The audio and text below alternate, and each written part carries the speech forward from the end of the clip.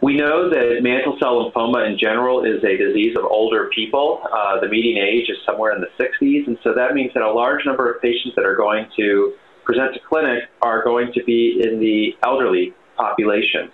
Uh, some patients, uh, despite their advanced age, may be excellent therapy candidates, and in those cases, I often consider treating them just like I would any other patient, uh, often offering them uh, aggressive therapy if appropriate, including potentially stem cell transplantation.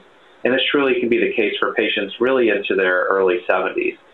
However, a, a large number of patients uh, will be both of advanced age and have comorbidities or frailty or have other um, ongoing issues that make it more challenging to safely manage them with intensive induction regimens. And for these patients, I would say that the, the management can sometimes be challenging. Uh, when possible, I try to offer a, a combination chemotherapy with uh, immunotherapy, like bendamustine rituximab. Uh, there are other available therapies, including rituximab plus lenalidomide, uh, which offer a chemo-free approach.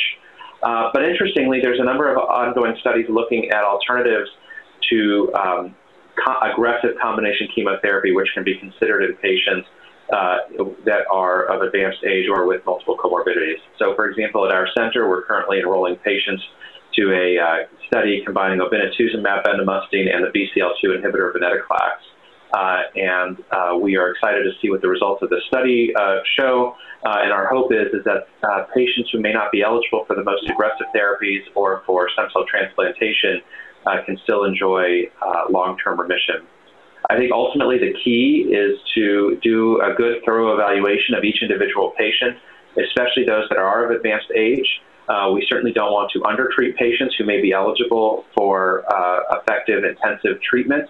At the same time, we want to make sure that we take comorbidities into account uh, because the development of long-term toxicity uh, due to uh, therapy that was too intense for a given patient is also problematic.